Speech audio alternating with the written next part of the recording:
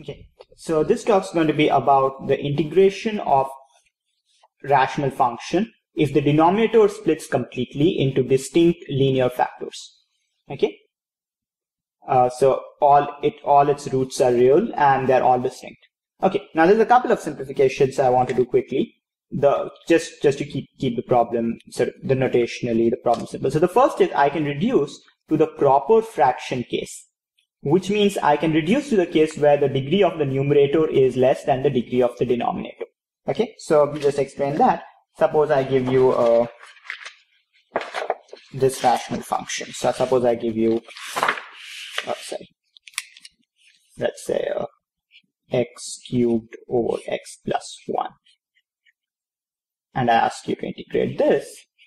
Well, this the method I'm going to discuss is not for this thing. So what you do is, if you have something like this, is you first reduce it to something uh, for which that for which the method I have is applicable. So what's the problem with this? Hmm? The problem with this? Yeah. Or how do you convert it to something uh, nicer? You you get rid of x plus one. You ch you change it to a sum of polynomial and oh well yeah in this case you can actually do that. So i'll maybe i'll change my example. Uh, okay let's okay so in this case you can do that but i'll, I'll explain what i was saying. What, what i was saying is that that if the degree of the numerator is greater than the degree of the denominator you can divide this like this. Okay and you get x squared minus x plus 1 the remainder of minus 1 and then you can rewrite this as a mixed fraction.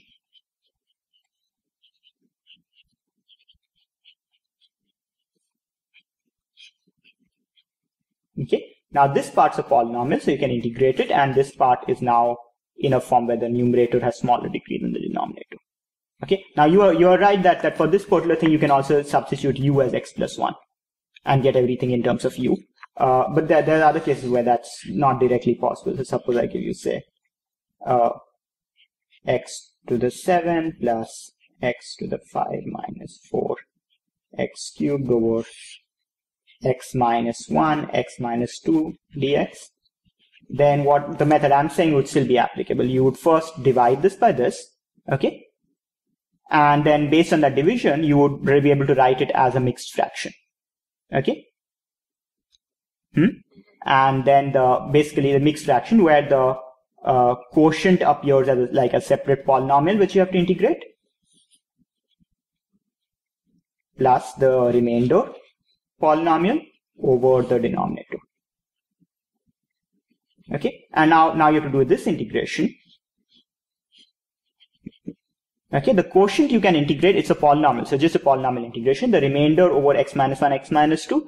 For that, now it's a situation where the denominator has denominator has larger degree than the numerator. And so the methods I'm going to talk about are for that situation.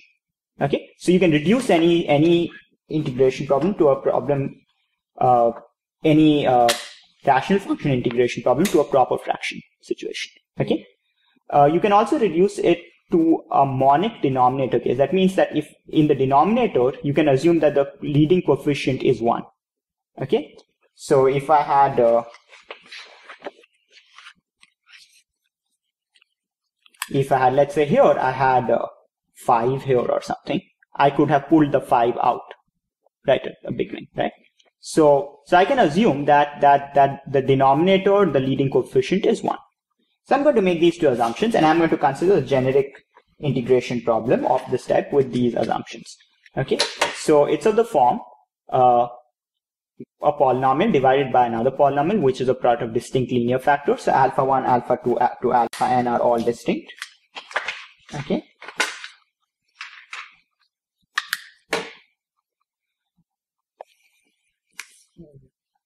Alpha 1, alpha 2, alpha n are all distinct. If you want, you can also assume that they are in increasing order.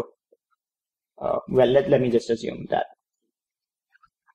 Though the formula here doesn't depend, on that being true. It's symmetric in all of them uh, for our, for later discussion.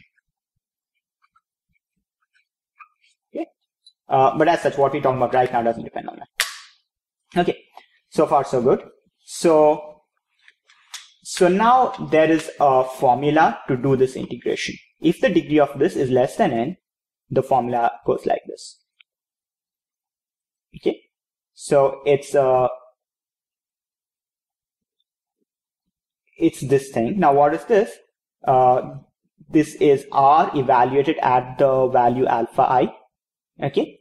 And this is the product of alpha i minus all the other roots, the denominator. So this whole thing, this divided by this product is the coefficient of ln of x minus alpha. And then you add these up for i equal 1 to n. And that is an antiderivative for this function. So that, that seems to be like a, something out of the blue, right? Where did we get this? That's, that's a question. And so I'm going to explain how you get this using partial fractions.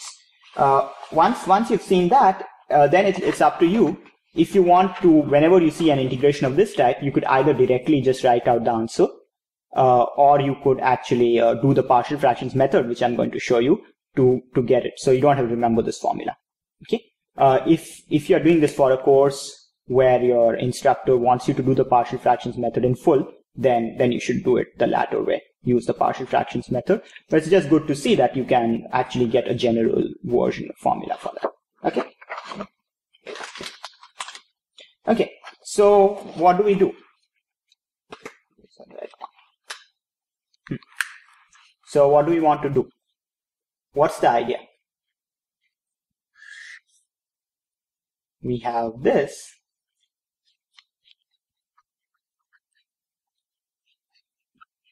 What do we want to rewrite it as?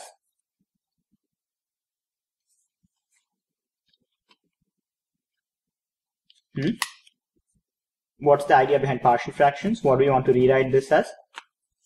Uh,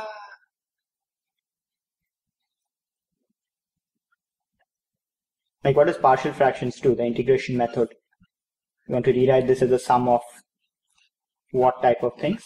one over. Well, not one over. Some constant over. Yeah. Well, that's like one over. You can take the constant out. Well, after you, uh, when you're actually doing the integrations, yes. But yeah. So it's a, okay, another thing is you want to write this as a linear combination of what things? 1 over? X minus alpha. Yes. Okay. So, uh, basically you want to write it in this form. Little c2 x minus alpha 2. Uh, now for those of you who don't know what the word linear combination means, don't bother. Uh, basically you just want to write it like this where c1, c2 to cn are all constants. Okay.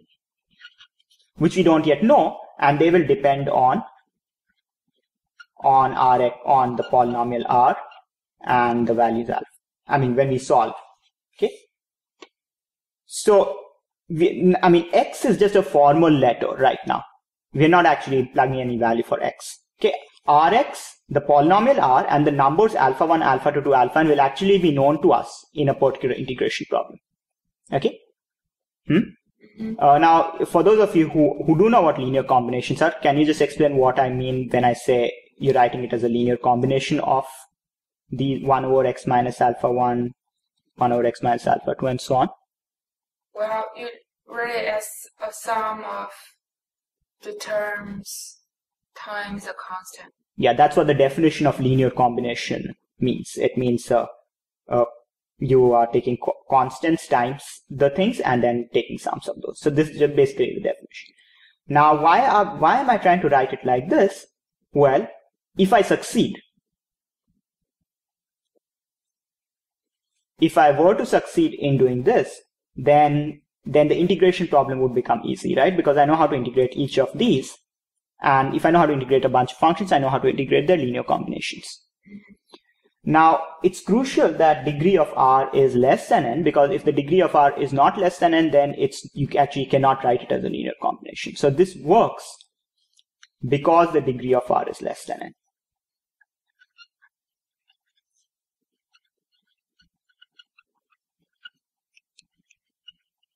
Okay, um, so I'm sort of going to skip over exactly what's happening, but if you if you took something of degree bigger than or equal to n, uh, it, you cannot write it as a linear combination. So the vector space spanned by 1 over x minus alpha onto 1 over x minus alpha is actually just the, uh, precisely the things where the a, ra- a rational function, the denominator this in the numerator has degree less than n, say n dimensional space. Uh, but ignore that. Okay, so, okay, good. So now, let's assume it works. Okay, let's assume that, that in fact you do have these constants C1, C2 to Cn. How would you actually find them? Well, uh, let's try to basically just solve for them. Okay, now one way you could do that is you could just uh, clear the denominator everywhere, right? So you take a common denominator. So what do you get? Rx is over this whole thing. Over that whole thing. Just name it. What let's call it the denominator. Okay. Now, what does the first thing become? Well, we already have an x minus alpha 1, so you have to multiply it by all the others, right?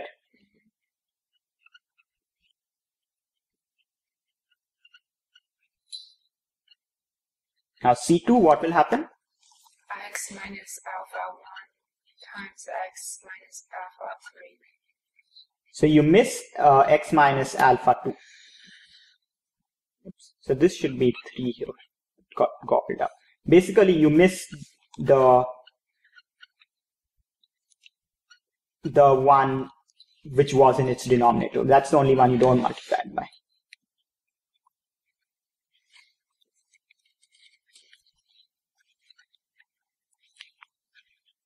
Okay, so far so good. Now you can sort of remove the denominator from everywhere. Okay. So scratch it up. Okay. So you can remove the denominator from everywhere. And this is true in what sense? It's true as an identity in X.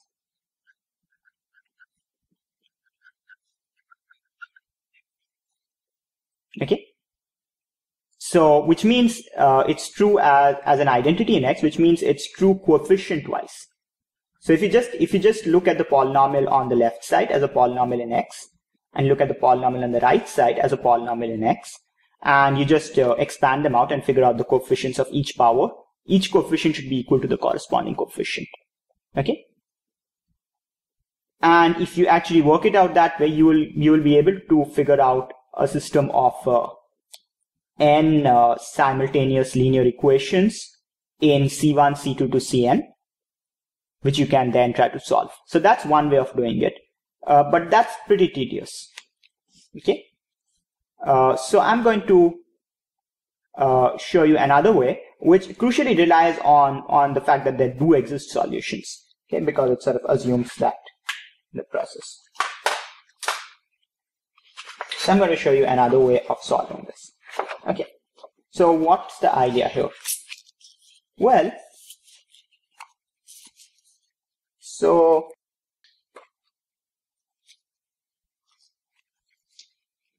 we have this this uh, thing, right? We have this. Okay, I'll just copy it onto this sheet. So and I'll write it in shorthand. Rx is summation i equals 1, oops, 1 to n c i times product uh, from j from 1 to n, but j not equal to i of x minus alpha j.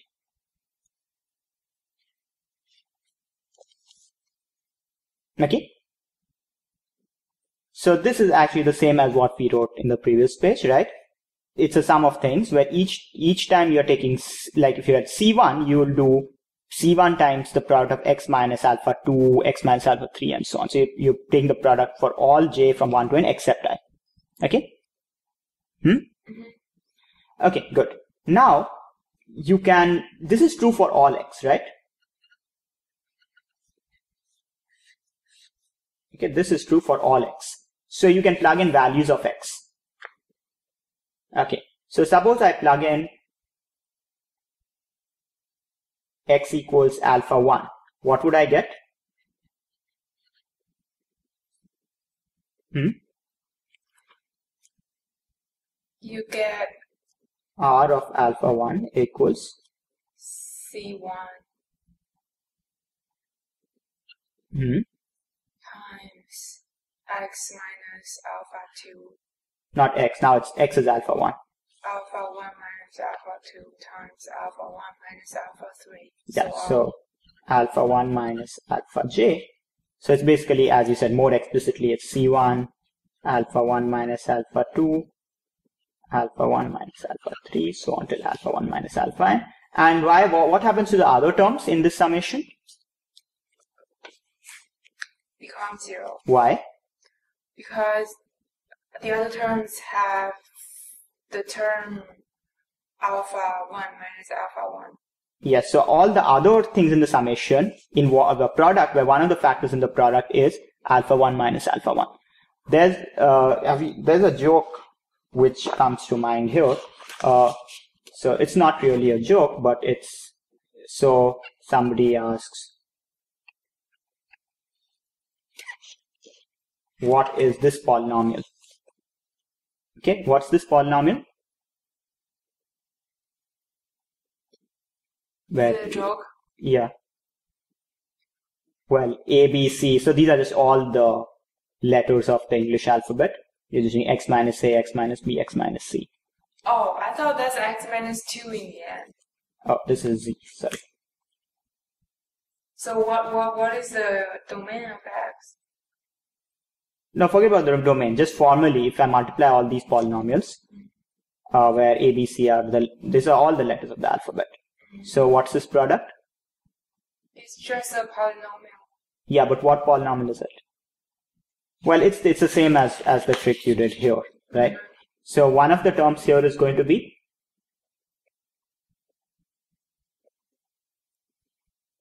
hmm? Going to be what? Well, one of the letters of the alphabet is X, right? So one of the terms is going to be Zero. Z- X minus X, which is zero, and so the product is zero. Well, so this joke, uh, which which is maybe is not very unfair. I asked you what's the domain of x. This x may not be the x. Well, maybe. Well, it's it's it's not a real mathematical thing, but it's actually the same idea as here, right? Uh, when you when you are taking uh, when you have this uh, Rx as a sum of things times products, if if you put x as alpha one, then for any any i which is not one, you'll have an x minus alpha one term. So you'll have an alpha one minus alpha one term there. So that will go away. Okay. So you'll get something like this. Uh, and so what is C1? Uh, alpha 1 over the product. Uh, I could, of course, just write 2j from 2 to n, but I'm writing it in a way I can easily generalize. So alpha 1 minus alpha j. Now I can get, can I get a general formula for Ci? yeah, Same idea. What will it be? uh, alpha i. Hmm? The product j from 1 to n. j does now equal to i. Mhm. Alpha i minus alpha j. Okay. Uh, so now I found the, the constants uh, Ci. Okay. And now I can get back to the original uh, integration problem, right? So, so the, the, the function is, so the, the thing Rx over whatever the denominator was, the product of all those is, uh, C1 over x minus alpha 1 plus C2 over x minus alpha 2 plus. So what's the what's the integral? C1 times ln x minus alpha 1. okay so the integral of this is just the same linear combination of their antiderivatives right? Because integration is is sort of linear. Well i said sort of because we are doing indefinite integration so there's a little subtlety but it's not well defined it's defined up to constants. But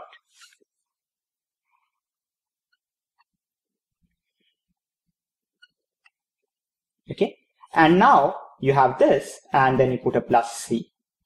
Now that you have this now you can combine uh, this thing and uh, this expression you have for C, uh, CI.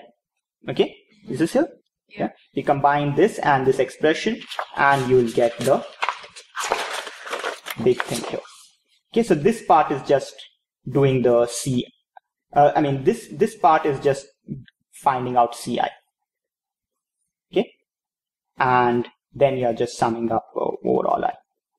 So this is great, right? Uh, for some of you who find this too confusing, we, you can actually uh, look at the quadratic case, which is in a separate video where it's it's a little easier to see uh, what's happening. Okay, uh, okay, great. So we'll talk more about related things in the next video.